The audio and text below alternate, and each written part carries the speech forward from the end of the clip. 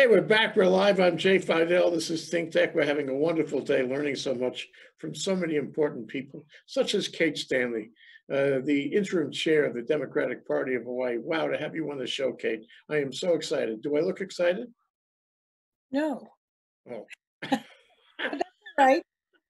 I'm still excited to be a Democrat. So, so you're the interim chair. That means you are waiting for Godot. so when is the when is the final chair coming?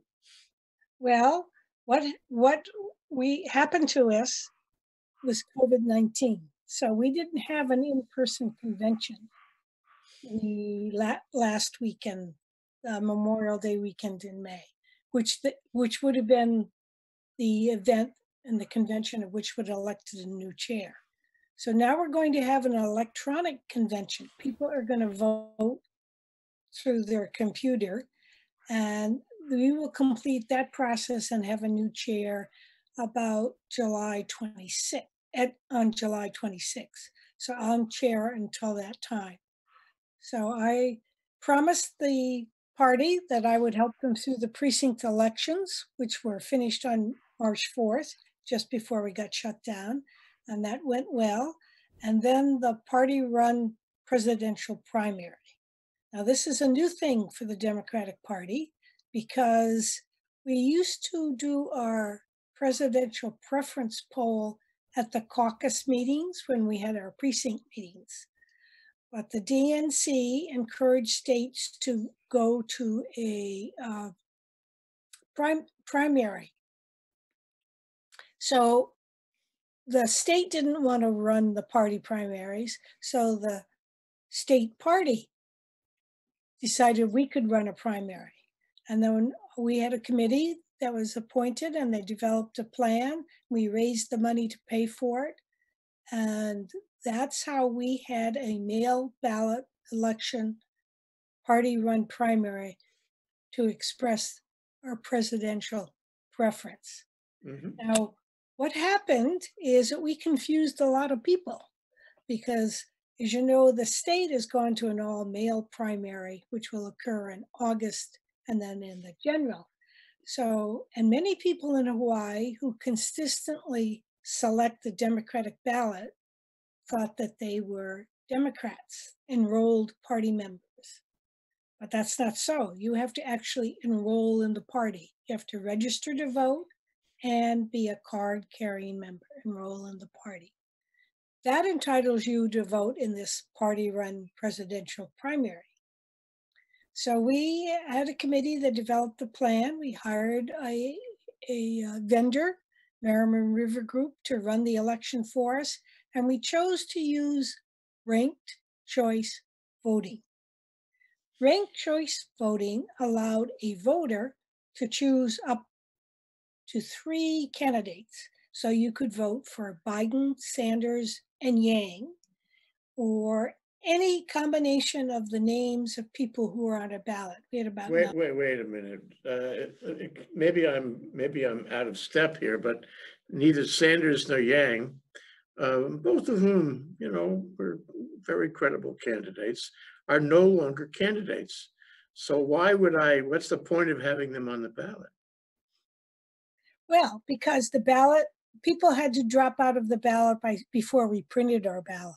Oh, So they didn't. So they were on the ballot. So though most people chose Biden or Sanders, but there were people who wanted to vote for the other candidates. You know, we had um, we actually had Michael Bloomberg on the ballot, Peter Buttigieg, Tulsi Gabbard, Amy Klobuchar, Deval Patrick, Tom Steyer, Elizabeth Warren, Andrew Yang, and uncommitted. So what happened to us was Super Tuesday happened at the same time as our ballot was delivered to homes in Hawaii. So unless people took their name off in early February, as did Kamala Harris, they were still on the ballot. But most people who voted in the primary are pretty politically active and they paid attention. So they knew who had dropped out already. So most people voted for Biden or Sanders, though other, those other candidates did get some votes. But because of ranked choice voting, what happened was if you voted, say, for Yang first because you really liked Andrew Yang, but you picked Biden second and Sanders third, your ballot would be counted according to your ranks. So your first ballot for and your first vote for Andrew Yang wouldn't count because he didn't reach 15% of the total, which would have entitled him to a delegate.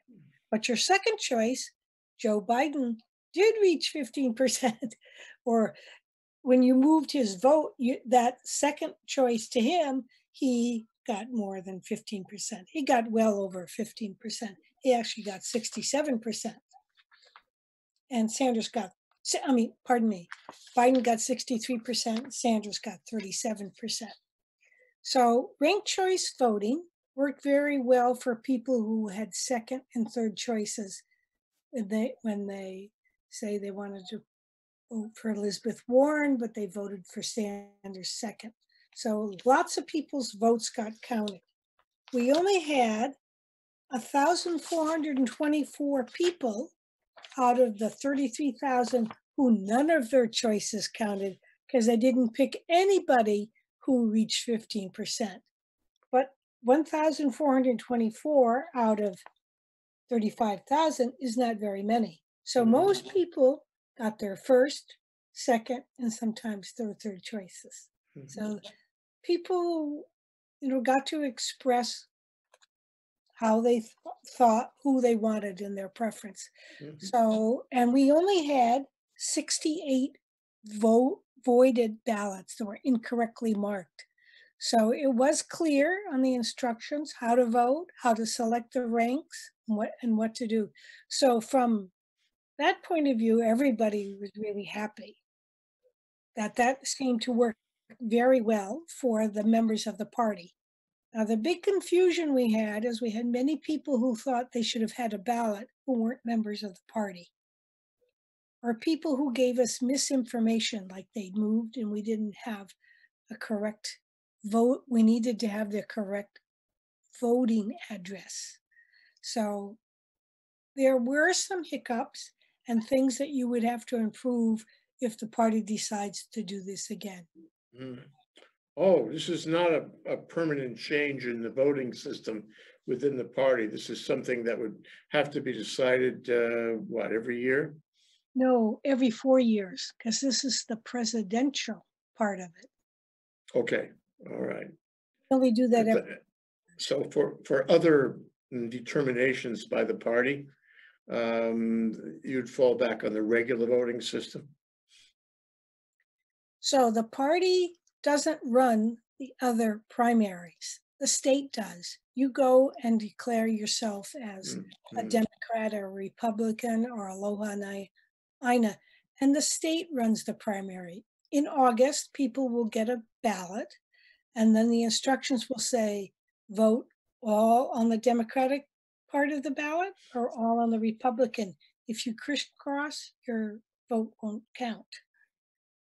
They run, as most states run the primary, and in fact, most states run the presidential part too for the various parties, but not in Hawaii. Hmm, Okay, just the presidential then.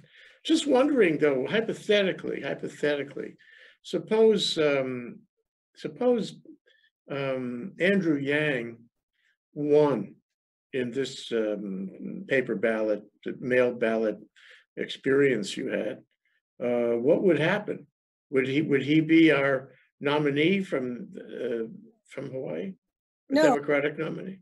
He would have to have like one, if he got 15%, he'd be entitled to one delegate. Then it would be up to Andrew Yang to, then we would elect somebody to represent that, but it would be up to the Yang campaign to instruct their delegate what they wanted it to do. And they may say, we would prefer that you don't vote for Andrew Yang because he's withdrawn. Please vote for Biden. You know, I know this, I know there's some discussion about this, Kate. But I, I'm wondering whether, at least in Hawaii, maybe other places, I, I know there was uh, some litigation about it. Um, is, is the, um, is the delegate obligated to vote for the person that was selected in the primary or in the, in the party, party vote that you had? Uh, or can a delegate vote for whoever he wants in his best judgment? No, you're pledged, so you have to vote for the person you pledged to. You have to report that vote. Now, because um, the next step after we elect our delegates to the national convention, then the Biden and Sanders campaign have to decide how they're going to do that.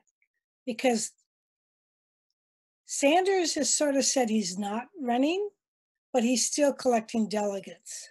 So he, they have to work that out so that you, the states are reporting either the division between Biden and Sanders, or they report all, the- all the delegates are going to go to Biden because he's won enough to secure the nomination. Hmm. So So- does this give, does this give Sanders some leverage in terms of the platform?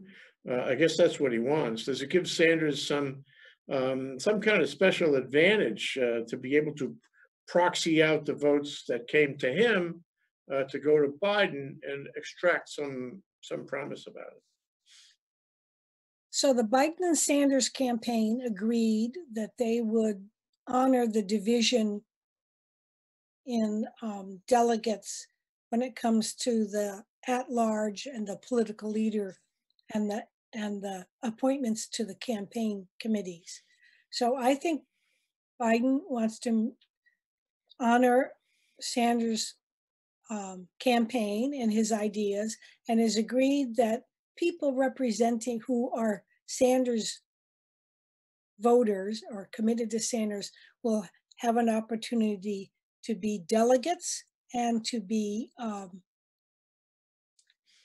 uh, on the committees, the platform, the credentials, and the Mm. rules committee. Mm, mm, okay, so there's s- still a little horse trading left, I guess. Uh, I think the Sanders campaign would describe it as they want to make sure that Sanders' point of view on various is- issues is represented on all those, on particularly platform and the rules committee. He had some, he had some points of view that have since become more persuasive than they were before, you know? As, as the country has suffered um, over um, COVID and uh, racial divisiveness, uh, who knows? But let me, let me ask you this. Uh, Suppose for one reason or another, and I, I won't even speculate as to what that reason might be. Suppose we have, suppose Biden can't run as we get closer to the, you know, I guess, the convention. Um, what, what, what discretion does um, a delegate have uh, to vote for someone else? For example, Cuomo out of New York, if he decides to run. Uh, Could a, could a delegate switch to Cuomo if Biden was not available for some reason? I don't know the, the specific rules that govern that, but the DNC will have rules of the convention that would provide for how you would handle that situation. So the DNC would be involved and the delegates to the national convention will be involved. Mhm. And the DNC, the Democrat National Committee, has assured every state delegation that whether you go to Milwaukee or not, you will be able to vote on the platform and to announce the um, vote for president and vice president. So I, I am anticipating that in Hawaii, we won't be going to the national convention and we'll be voting from on Zoom or electronically in some manner. But uh, our votes will be counted, whether we are there physically or not. Wow, going to have uh, thousands of people on Zoom? How's that going to work? Well, I don't think you're going to have thousands of people on Zoom. I think they'll work out a system where the committees participate and they report the results. And then the delegates, you, when you go to a national convention, the delegation has a, has a delegate, a delegation chair, usually the governor, and they report the vote. So you don't have to, you're not everybody, you're not having a thousand people on Zoom being called one by one Mm. or over, or two thousand, because you need a thousand nine hundred and so many votes. There's a lot of delegates. Oh, to the yeah, well, convention. This is gonna be unique, and so many things are these days, we, we always finding we're in a unique situation, we've never unprecedented situation we never had before. Um, and it's gonna be, I guess you're gonna participate by Zoom in the, when is the convention? And uh, I, I don't ask where, because I'm not sure that that's settled yet. Um, is it settled? They've chosen, mo- that decision was made some time ago. Milwaukee is the place for the convention. How they're Mhm. going to conduct it is still Mm. open. So, so, um, Are you gonna be a delegate? No, I don't think so. I I think that uh, I've been a delegate to a national convention. I was a delegate in 2008, and then I was national committee woman in 2016. So I've had my opportunities to go to conventions. I I personally like to think that a wide variety of Democratic members should have the opportunity to go to a convention even this one.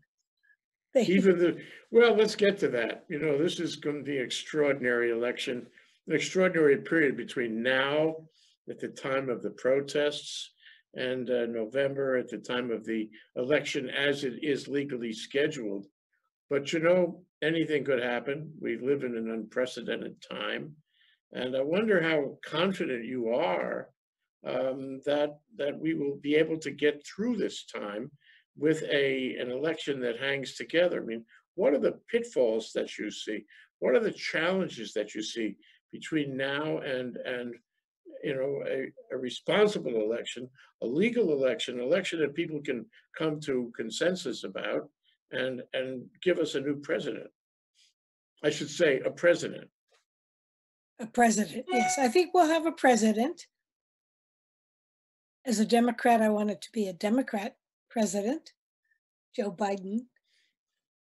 I think that the elections are pretty well run across all the states. They've always improved. There's a lot more mail-in ballot elections. Hawaii has an all-mail ballot election.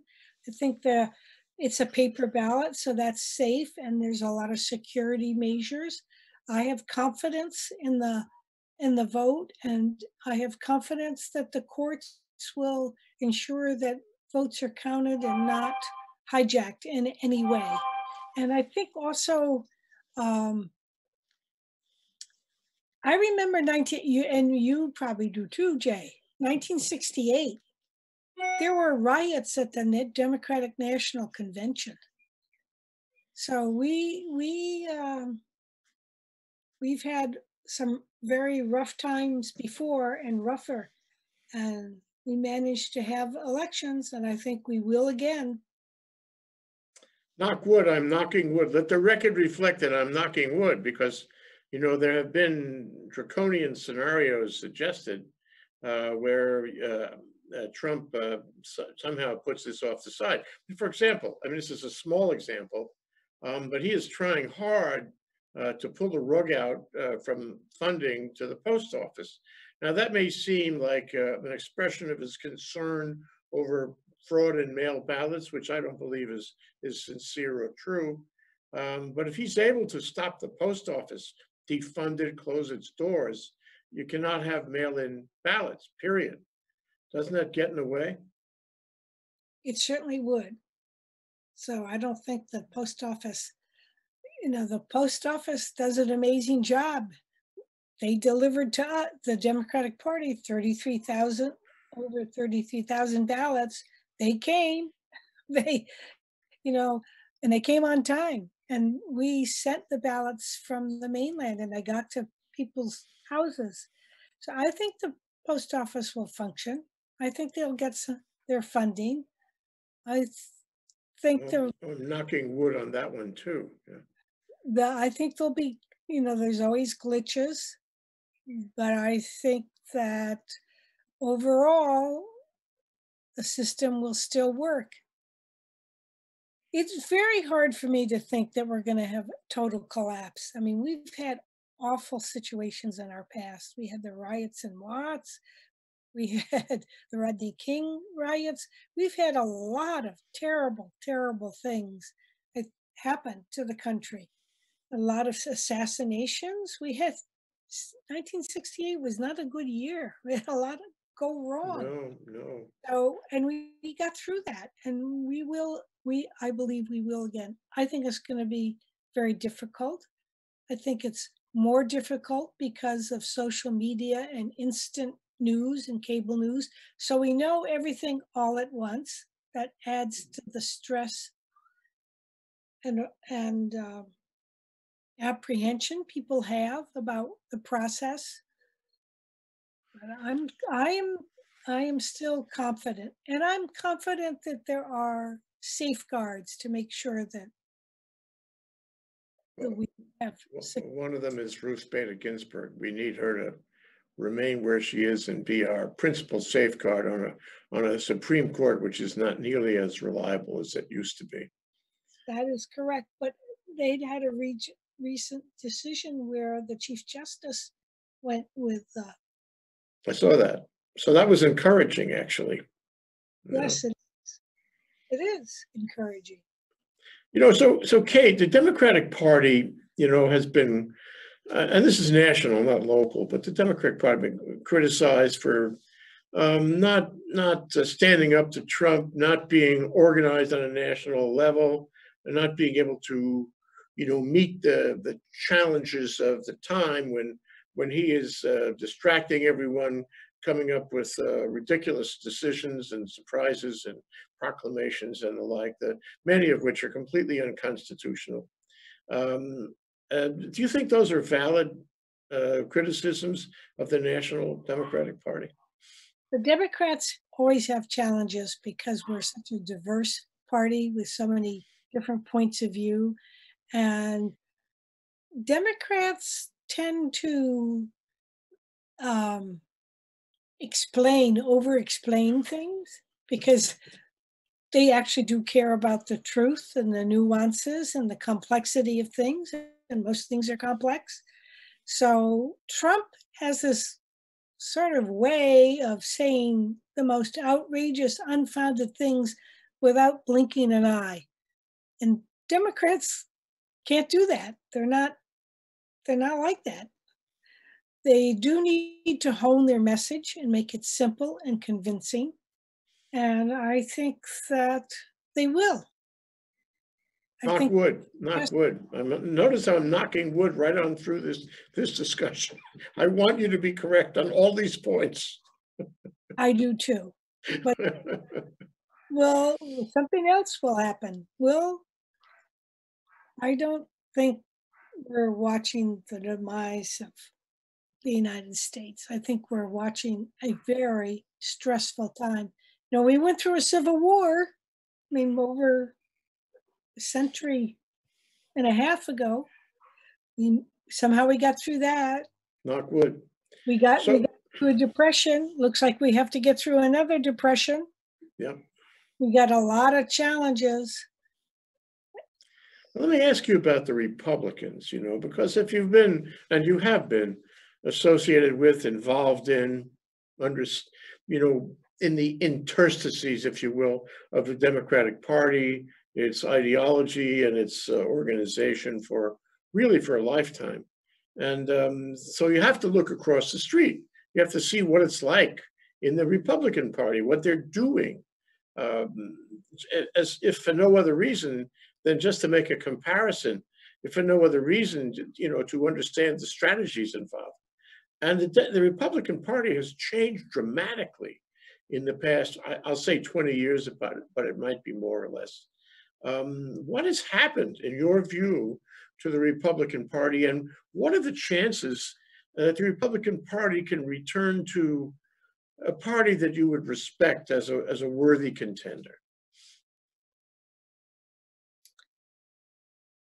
I think Trump has to leave the White House as a result of an election. And I think that will help the Republican Party find Republican candidates, not people like Trump who are conveniently Republican. Remember, Trump was a Democrat and donated to many Democrats for eons. He has no sort of compass. It's just whatever helps him personally.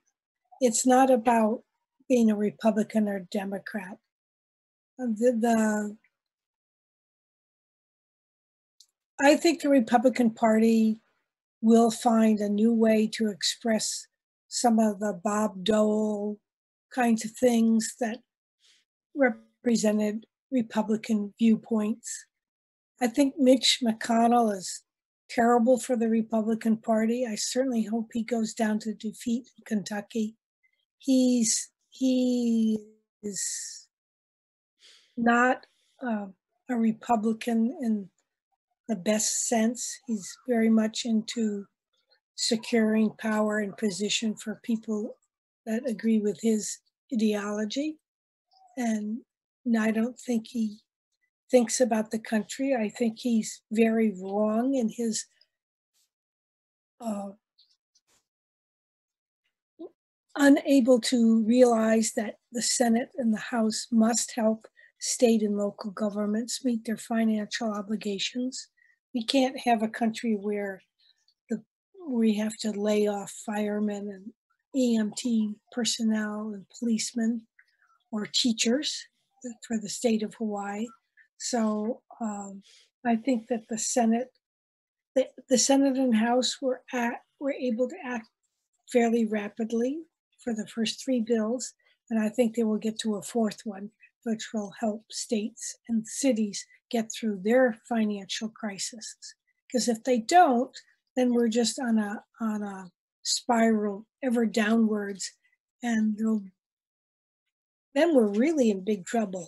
The one thing the federal government can do is borrow money and help, and I think mm-hmm. they will and they should on those elections in other places, uh, certainly they're important, to, especially in the Senate, because the, Senate is completely dysfunctional these days uh, under McConnell.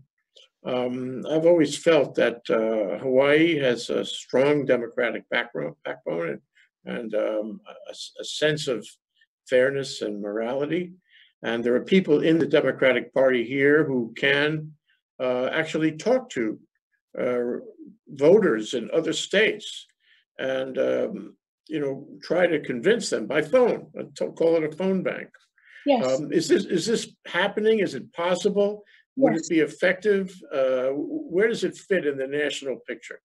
Both senator hirono and senator schatz are very active in helping uh, flip the senate and in campaigns and they have active groups here that are working with them to write and contact voters and in battleground states for the presidency and for those Senate seats that will help flip the Senate from a Republican majority, thin majority to a Democratic majority. And both Senator Hirono and Senator Schatz have been active in that and contacting members of the Democratic Party to participate in that effort. And we will be doing more of that as we get get uh, toward the general election in November. That's great. I'm glad you're doing that. I hope you can come back on the show and talk about that as you go forward, because I think that would be a, a very valuable uh, expenditure of time and effort by people in Hawaii to try to influence the decisions on the mainland voting voter decisions. But one thing about Hawaii is it really has only one party, Kate. Uh, and the Republicans have you know, withered away in Hawaii. And frankly, these days, that's totally appropriate, in my opinion, because the Republican Party is uh, not not effective and no, you know, of no use uh, to the national interest. But um, I wonder, you know, how you feel about the Democratic Party going forward uh, in Hawaii. I wonder, you know, what you would say. This is my question. What would you say to somebody, a younger person, a millennial, who is um, committed to Hawaii, excited about making life better here, and who has a thought, perhaps, that he or she would like to be involved in local politics? Um, what is your advice to that person? How can that person serve? And does the Democratic Party or any political organization in Hawaii offer an opportunity, an avenue by which a young person can participate in government, make things better?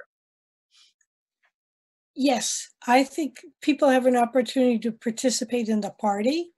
We have uh, younger members of our party. We have a lot of members in my age group, but we also have uh, people who can become active in their communities and community organizations and then find their way to elected politics.